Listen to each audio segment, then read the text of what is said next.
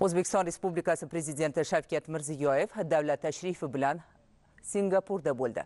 Tashrif doirasida ikki davlat rahbarlarining oliy darajadagi uchrashuvi mamlakatlarimiz o'rtasidagi ko'p qirrali hamkorlik aloqalarini yanada kengaytirish yo'lidagi muhim voqelik deya e'tirof etildi. Shuningdek o'zbekiston singapur munosabatlarini yangi bosqichga ko'tarishga qaratilgan muzokaralar olib borildi. Muhim hujjatlar imzolandi. Yaqin istiqbolda hamkorlikni kengaytirishning asosiy yo'nalishlari belgilandi. Umumiy qiymati 5 milliard dollarga yaqin sarmoyaviy bitimlar va savdo shartnomalari imzolandi. Tashrif doirasidagi barcha tadbirlar tafsiloti hozirgi sharhimizdan o'rin olgan. Iqtisodiy mo'jiza fenomeni aslida 20 asrda dunyoning qator davlatlarida kuzatilgan ammo singapur fenomeni osiyoning eng mashhur iqtisodiy mo'jizalaridan. Bor yo'g'i 700 kvadrat kilometrdan ko'proq hududga ega shahar davlatning aholisi bundan 57 yil avval qashshoqlikda kun kechirgan. Xo'sh hatto ichimlik suvini ham import qilgan mitti davlat qanday qilib bunday katta natijalarga erishdi? Singapurga o'sishni to'rtta asosiy yo'nalish ta'minlab berdi. Bular investitsiyaviy innovatsion rivojlanishga qaratilgan iqtisodiy islohotlar ijtimoiy modernizatsiya korrupsiyaga qarshi samarali kurash va siyosiy barqarorlik. Mamlakat samarali boshqaruv va kadrlar salohiyati bo'yicha ham ancha ilgarilab ketgan. Bugun sherlar shahri elektronika farmatsevtika neftni qayta ishlash kabi yuqori texnologiyali tarmoqlarda shuningdek osiyoning asosiy transport logistika habi va yirik moliya markazi sifatida ham yetakchi. 2022 yilning noyabrida mamlakatning valyuta zaxirasi 295.3 milliard dollarga yetdi. Bu dunyoda 10 o'rin degani. Singapur ta'lim bo'yicha ham dunyoning eng ilg'or davlatlaridan biri. Shahar davlatning bu yo'nalishlarda to'plagan tajribasi hamda sohalardagi o'sish modeli o'zbekiston uchun ham manfaatli. Bunga mos ravishda davlatlarimiz o'rtasida ikki tomonlama sheriklik ham kengayib boryapti. Zero markaziy va janubiy sharqiy osiyo mintaqalari hamkorlikda bir birini to'ldirishi bilan ko'plab muvaffaqiyatlarga erishishi mumkinligini hozirda hayotning o'zi tasdiqlamoqda. Bugun o'zbekiston va singapur ana shu hayot haqiqatiga asosan bir birini do'stona qarshi olmoqda. Davlatlarimiz o'rtasida qulay va eng ko'p imtiyoz berish tizimi amalda. So'nggi yillarda o'zbekistonga kiritilgan singapur investitsiyasi hajmi 700 million dollardan oshdi. Singapur kapital ishtirokidagi korxonalar soni 4 barobar ikki davlatning o'zaro savdo aylanmasi esa 2 barobarga ko'paydi. Hukumatlararo va parlamentlararo muloqot ham jadallashdi. Madaniy gumanitar ta'lim sohalaridagi hamkorlik faollashgan. Asosiysi hozirgi murakkab global sharoitda har ikki tomonda siyosiy iroda va hamkorlikni samarali loyiha hamda dasturlar bilan to'ldirishga ishtiyoqning mavjudligida. Buning uchun aniq reja tuzilib puxta chora tadbirlar ko'rilgan. O'zbekiston respublikasi prezidenti shavkat mirziyoyevning singapurga davlat tashrifi doirasida oliy darajadagi tadbirlar ushbu mamlakat prezidenti halima yaqub va bosh vaziri li sian lun bilan muzokaralar bo'lib o'tdi. O'zbekiston singapur sammitida avval singapur prezidentining istana saroyida davlatimiz rahbarini rasmiy kutib olish marosimi bo'ldi.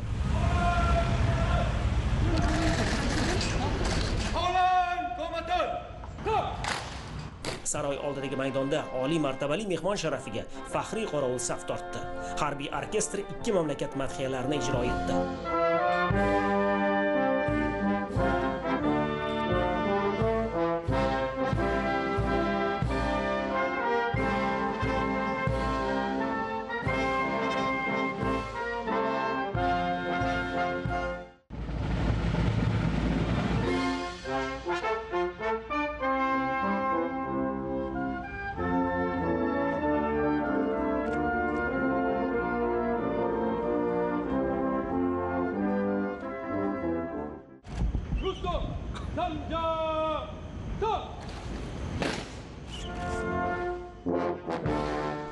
O'zbekiston prezidenti shavkat mirziyoyev va singapur prezidenti halima yaqub faxriy qorovul safi oldida turib rasmiy delegatsiyalar a'zolarini qutladilar so'ng o'zbekiston respublikasi prezidenti sharafiga singapurning milliy ramzi bo'lgan orxideya gulining yangi naviga nom berish marosimi bo'lib o'tdi. Bunday tadbirlar an'anaviy ravishda ushbu mamlakatning oliy martabali mehmonlari va taniqli arboblarga yuksak hurmat va ehtirom belgisi sifatida o'tkaziladi. An'anaga ko'ra prezident shavkat mirziyoyev gulning yoniga yangi turdagi orxideyaning nomi shavkat mirziyoyev orxideyasi deb yozilgan taxtachani joylashtirdi. Ushbu ko'rkam va yoyilib o'suvchi gul enkpi purple va kila blue orxideyalarining gibridi hisoblanadi. Uzunligi 45 sm bo'lgan qatqat yaproqli qo'shgullar ularning har birida 17 tadan 20 tagacha gul hosil qiladi. Har bir gulning eni 5 sm atrofida. Och siyoh rang barglar va kosacha barglarning cheti mayin binafsha rang tusda bo'ladi. Shundan so'ng prezidentlar ikki tomonlama uchrashuv o'tkazdilar. O'zbekiston va singapur o'rtasidagi munosabatlarni yanada chuqurlashtirish istiqbollari ijtimoiy siyosiy hayotni demokratlashtirish borasidagi islohotlar yuzasidan fikr almashildi. Ta'lim sohasida faol hamkorlik qilinayotgani mamnuniyat bilan qayd etildi. Toshkentda singapur menejmentni rivojlantirish instituti hamda singapur texnologiyalar menejment va kommunikatsiyalar akademiyasi muvaffaqiyatli faoliyat yuritmoqda. Ikki mamlakatning markaziy va janubi sharqiy osiyoda mintaqaviy hamkorlik va integratsiyani kengaytirish borasidagi tajribasi batafsil ko'rib chiqildi. O'zbekiston va singapur xalqaro maydonlarda mintaqaviy barqarorlik va izchil taraqqiyot masalalarida bir birini anglashi va bu boradagi tashabbuslarni ilgari surishda o'zaro ko'maklashayotgani qayd etildi. Uchrashuv yakunida hamkorlikning asosiy yo'nalishlari belgilab olindi. Shavkat mirziyoyev halima yaqubni o'ziga qulay bo'lgan vaqtda mamlakatimizga tashrif bilan kelishga taklif etdi. So'ng istana qarorgohida prezidentimiz singapur bosh vaziri li syan lun bilan muzokara o'tkazdi. Yetakchilar hamkorlikning bugungi holati va istiqbollarini har tomonlama ko'rib chiqdilar. Ustuvor yo'nalishlardagi aloqalar jadal sur'at bilan rivojlanib borayotganini ta'kidladilar. Jumladan savdo iqtisodiy sohada sezilarli natijalarga erishildi. Uchrashuvda ko'plab sohalarda amaliy hamkorlikni kengaytirish uchun katta zaxiralar mavjudligi qayd etildi. Singapur osiyo tinch okeani mintaqasining iqtisodiy markazi. Ko'p yillardan buyon ushbu mamlakat elektronika kimyo sanoati biotexnologiyalar bank sohasi logistika va transport mashinasozligi kabi muhim tarmoqlardagi muvaffaqiyatlariga tayanib jahondagi eng yirik va rivojlangan iqtisodiyotlardan biri bo'lib kelmoqda. Shularni hisobga olib davlatimiz rahbari singapur bilan yaqin istiqboldagi hamkorlikning oltita asosiy yo'nalishini ko'rsatib o'tdi. Birinchisi inson kapitalini rivojlantirish va davlat boshqaruvi uchun yuqori malakali kadrlar tayyorlash. Li kuan yu nomidagi davlat siyosati maktabi ishtirokida boshqaruv shaharsozlik infratuzilmani rivojlantirish raqamli transformatsiya innovatsiyalar ta'lim va sog'liqni saqlash sohalarida birgalikda davlat xizmatchilarini tayyorlash va ularning malakasini oshirish dasturini amalga oshirishga kelishib olindi. Shuningdek o'zbekiston davlat boshqaruv akademiyasi negizida singapurning yetakchi ekspertlarini jalb qilgan holda davlat xizmatchilarini intensiv qayta tayyorlash dasturi ishga tushiriladi. Ikkinchi yo'nalish singapurni o'zbekistondagi xususiylashtirish jarayonlariga jalb qilishga qaratilgan. Shu ma'noda muzokaralarda singapurning yetakchi kompaniyalari ilg'or tajribasi zamonaviy texnologiyalari va boshqaruv usullaridan foydalangan holda o'zbekistonning yirik korxonalarini xususiylashtirish doirasidagi loyihalarni amalga oshirish istiqbollari muhokama qilindi. Davlat korxonalarini transformatsiya qilish va tarkibiy o'zgartirish keyinchalik ularni ipoga chiqarish va tashqi investitsiyalarni jalb qilish uchun qo'shma investitsiya jamg'armasini tuzish taklif qilindi. Uchinchi ustuvor yo'nalish sifatida ilg'or yashil texnologiyalar va raqamli yechimlarni jalb qilish belgilandi. Singapurning raqamlashtirish sohasidagi yutuqlarini joriy qilish shuningdek ushbu mamlakatning yashil rivojlanish bo'yicha innovatsiyalari va texnologiyalarni qo'llash imkoniyatlari muhokama qilindi. To'rtinchisi shahar infratuzilmasi va kommunikatsiyalarni takomillashtirish shaharlarni rejalashtirish va qurilish ko'kalamzorlashtirish kommunal xo'jalik sohalarida hamkorlik bo'yicha tadbirlar kelishib olindi. O'zbekistonda infratuzilma va tarmoq loyihalarini amalga oshirish bo'yicha qo'shma loyihalashtirish va injiniring markazini tashkil etish bo'yicha kelishuv bu boradagi birinchi qadam bo'ldi. Hamkorlikning beshinchi yo'nalish doirasida investitsiyalar va o'zaro savdoni kengaytirish singapurning yetakchi kompaniyalari bilan qo'shma loyihalarni ilgari surish muhimligi qayd etildi. Ustav kapitali 500 million dollar bo'lgan. O'zbekiston singapur investitsiya kompaniyasini tashkil etish yuzasidan kelishuvga erishildi. Oltinchi yo'nalish sifatida davlatimiz rahbari jamoat xavfsizligini ta'minlash millatlararo totuvlikni asrash va radikalizmga qarshi kurashish borasida tajriba almashish zarurligini qayd etdi. Bundan tashqari tomonlar xalqaro va mintaqaviy kun tartibining dolzarb masalalari yuzasidan fikr almashdilar. Ochiq va do'stona muhitda o'tgan uchrashuv yakunida shavkat mirziyoyev li syan lunni o'ziga qulay vaqtda mamlakatimizga tashrif bilan kelishga taklif etdi. O'zbekiston muzokaralardan so'ng ikki tomonlama hujjatlarni almashish marosimi bo'lib o'tdi. Delegatsiyalar rahbarlari huzurida ikki mamlakat hukumatlari vazirlik va idoralar darajasida o'zbekiston singapur hamkorligini yanada kengaytirishga qaratilgan sakkizta hujjat almashildi xususan ta'lim transport sog'liqni saqlash kadrlar shu jumladan davlat xizmatchilarini tayyorlash sohalarida hamkorlik to'g'risida bitimlar qabul qilindi. Shuningdek savdo iqtisodiy sheriklik hamda ikki mamlakat prokuraturalari o'rtasidagi hamkorlik bo'yicha kelishuvlarga erishildi.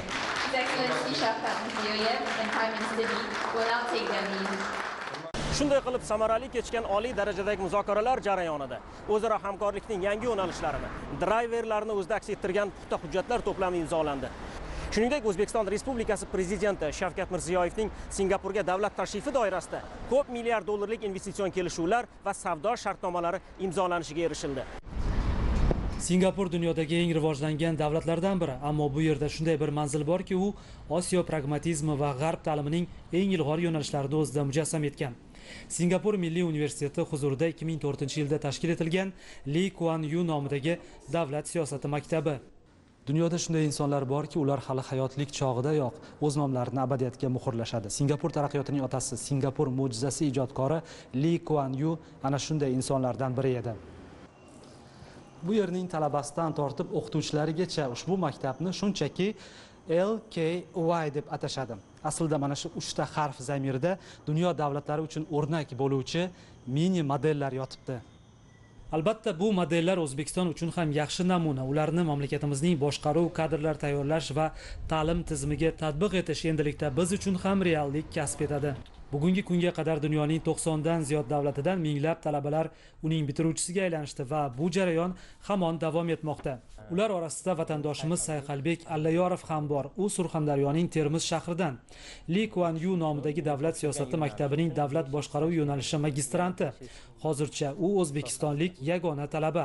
Ammo hozircha chunki kelajakda bu yerda o'zbekistonlik yoshlar davlat xizmatchilarining soni yanada ortadi. Nima uchun deysizmi? Unda diqqat qiling. Mamlakatimiz rahbarining singapurga davlat tashrifidagi yana bir muhim manzil aynan li kuan yu nomidagi davlat siyosati maktabi. Li kuan yuning juda ko'p hayotiy haqiqatlari bor. Ulardan biri shunday. Agar sen birinchi o'rin uchun kurashmasang o'ninchi o'ringa ham erisha olmaysan. Bugun uning nomidagi ushbu maktab juda ko'plab sohalarda dunyo reytinglarida yetakchi. Masalan xalqaro dunyo universitetlarining xalqaro qs reytingida mazkur maktab osiyoda birinchi jahonda o'n birinchi o'rinda e'tirof etilgan. Prezident tashrifidan bir necha daqiqalar avval uchrashuv bo'lib o'tadigan joyda xodimlar va mas'ullar bu yerda har bitta mayda detalgacha hisobga olishmoqda. Boshqacha bo'lishi mumkin ham emas. Shunday qilib belgilangan fursatda o'zbekiston prezidenti davlat siyosati maktabiga tashrif buyurdi. Agar mamlakatimiz rahbarining deyarli har bitta uchrashuvda munosib kadrlar masalasi eng dolzarb vazifa ekanini qayta qayta aytishi li kuan yu asarlaridan ko'plab iqtiboslar keltirishni hisobga olsak bu uchrashuv favqulodda muhimlik kasb etadi. Shunday bo'ldi ham. Dastlab mamlakatimiz rahbariga davlat siyosati maktabi haqida batafsil ma'lumot berilib taqdimot o'tkazildi. Ta'kidlash kerak singapur erishgan iqtisodiy va ijtimoiy muvaffaqiyatlarda chuqur o'ylangan kadrlar siyosati. Malakali mas'uliyatni his etuvchi halol rahbar kadrlarni tayyorlash muhim o'ringa ega. Mamlakatimiz yetakchisi o'z faoliyatining boshidanoq bu masalaga alohida e'tibor qaratadi. Shu ma'noda davlat xizmatchilarini tayyorlash sohasida singapur tajribasini o'rganish va qo'llash katta ahamiyat kasb etadi. Muloqotlarda ikki tomonlama hamkorlikni kengaytirish davlat xizmatchilari malakasini oshirish birgalikda qo'shma o'quv dasturlarini tashkil etish masalasi atroflicha muhokama etildi. Vatandoshimiz sayqalbek uchun ham muhim muloqot bo'lib o'tdi. O'zbekiston respublikasi prezidenti huzuridagi davlat boshqaruvi akademiyasi va li kuan yu nomidagi davlat siyosati maktabi o'rtasida hamkorlik to'g'risidagi bitimni imzolash marosimi bo'lib o'tdi. Bu maktab bilan aloqa qilish biz uchun shunchalik muhimki barcha dasturlarimiz bir biriga to'g'ri keladi. Endi biz hozir e, to'rtta yo'nalishni bular bilan kelishib oldik. Albatta akademiyada ta'lim dasturlari tadqiqot ya'ni magistratura doktorantura dasturlarida katta transformatsiya qilyapmiz. Shu yo'lda biz birinchidan bular bilan harakat qilamiz. Bularni eng zo'r tajribasini olishni. Bularda tayyor fan modullari bor. Bularda o'quv rejalari bor. Shularni biz o'zimizni sharoitimizga moslashtiramiz. Albatta bularni yordami bilan bilasiz mana davlat fuqarolik xizmati to'g'risidagi qonun qabul qilingandan keyin bizni davlat xizmatchilarimizni oldida professional kompetensiyalarni rivojlantirish masalasi qo'yildi birinchi marta. Bu davlat singapur davlat boshqaruvi samaradorligi e, davlat xizmatlari sifati va umuman davlat boshqaruvida korrupsiyani yo'qligi bo'yicha dunyoda eng yuqori o'rindagi davlatlardan bittasi. Shuning uchun ham biz bu yerga davlat xizmatchilarini olib kelib o'qitamiz. Bizni oldimizga prezidentimiz qo'ygan vazifalardan bittasi eng zo'r joyga olib borib o'qitish eng zo'r tajribani ko'rsatish eng zo'r natijaga erishganlarni tajribasini yaxshilab o'rganish. I think we've had a real result. o'zbekiston prezidenti va delegatsiyasi bilan juda ajoyib yangiliklarga boy uchrashuv bo'lib o'tdi biz yig'ilishda o'zbekistonning singapurdagi o'z navbatida singapurning o'zbekistondagi faoliyatini jadallashtirishga kelishib oldik. Mamlakatingiz prezidentining ikki davlat o'rtasidagi hamkorlikni yangi bosqichga olib chiqishdagi sa'y harakati tahsinga sazovor. U bizga o'zbekistonda faoliyat olib borishimiz uchun qator qulayliklar yaratib bermoqda. Shuningdek o'zbekistondan davlat xizmatchilari singapurga mamlakatdagi ilg'or tajribalarni o'rganish maqsadida yuborilishiga ham kelishib oldik. Prezident bilan muloqotda ta'lim bo'yicha ham alohida so'z bordi bilamiz o'zbekistonda singapur universiteti filiali va boshqa ta'lim muassasalari faoliyat olib boradi. U yerdagi ta'lim sohasini yanada kengaytirish rejalarimiz bor. Shu o'rinda prezidentning shaxsan o'zlari bizni o'zbekistonga ta'lim sohasida hamkorlik qilishga chorladi. Biz o'zbekistonni juda keng universitetlar tizimiga ega mamlakat sifatida bilamiz va biz ham ushbu sohada hamkorlikni yanada mustahkamlashdan manfaatdormiz shundan so'ng prezidentimiz singapurning yetakchi kompaniya va tashkilotlar rahbarlari bilan uchrashuv o'tkazdi. Tadbirda singapur mehnat vaziri savdo va sanoat ikkinchi vaziri leng si tang singapur biznes federatsiyasi raisi ming yan lim ushbu mamlakatning indarama mainhart group cpg corporation Changi airports singapur menejmentni rivojlantirish instituti tmc academy Virtus Hills kabi 15 ta yirik kompaniyalar rahbarlari ishtirok etdi. Prezident Shavkat Mirziyoyev uchrashuv ishtirokchilarini qutlab, uning yangi 2023-yildagi ilk tashrifi aynan Singapurga bo'layotgani, O'zbekistonning ushbu mamlakat bilan mustahkam va o'zaro manfaatli munosabatlarni yo'lga qo'yishga alohida e'tiboridan dalolat ekanligini ta'kidladi. Yurtimizdagi tizimli islohotlar tufayli investitsiyalar hajmi yalpi ichki mahsulotning 30% dan ortig'ini tashkil etmoqda. 2022-yilning o'zida O'zbekiston iqtisodiyotiga 8 milliard dollar to'g'ridan to'g'ri xorijiy investitsiyalar jalb qilindi. Muloqot davomida kuni kecha bo'lib o'tgan o'zbekiston singapur biznes forumining natijalari mamnuniyat bilan qayd etildi. Uning doirasida umumiy qiymati qariyb 5 milliard dollarlik yangi investitsiya savdo va moliyaviy kelishuvlar imzolandi. Bu hamkorligimiz ancha faollashganidan muvaffaqiyatli kechayotganidan o'zbekiston singapur munosabatlari amaliy va sifatli mazmun bilan boyiganidan dalolat beradi dedi prezidentimiz. Lekin hamkorlik salohiyati hali to'liq ishga solinmagan. Prezident shavkat mirziyoyev ta'kidlaganidek mamlakatlarimiz ikki tomonlama munosabatlarni yanada kengaytirishga qodir. Singapur kompaniyalarining ilg'or tajribasi bizda katta qiziqish uyg'otmoqda dedi davlatimiz rahbari. Ishonch komilki singapurlik hamkorlarning innovatsiya va texnologiyalari o'zbekistonning resurslari va kadrlar salohiyatiga qo'shilsa bo'lajak qo'shma loyihalar barqaror rivojlanadi. O'zbekiston yetakchisi uzoq muddatli va o'zaro manfaatli hamkorlik uchun eng istiqbolli yo'nalishlarni ko'rsatib o'tdi. Singapur kompaniyalarining o'zbekistondagi xususiylashtirish jarayonlarida ishtiroki shahar va transport infratuzilmasini rivojlantirish kimyo va to'qimachilik yashil iqtisodiyot ta'lim sog'liqni saqlash va boshqa yo'nalishlardagi qo'shma loyihalarni amalga oshirish shular jumlasidandir. O'zbekiston singapur tadbirkorlarini zarur ishlab chiqarish infratuzilmasi bilan ta'minlash imtiyozlar va kafolatli xaridlar shaklida keng qo'llab quvvatlash boshqa ko'mak choralarini taqdim etishga tayyor ekani bildirildi. Yurtimizdagi islohotlar xorijiy hamkorlar orasida o'zbekistonning ishonchli va barqaror sherik sifatidagi mavqeini mustahkamlamoqda.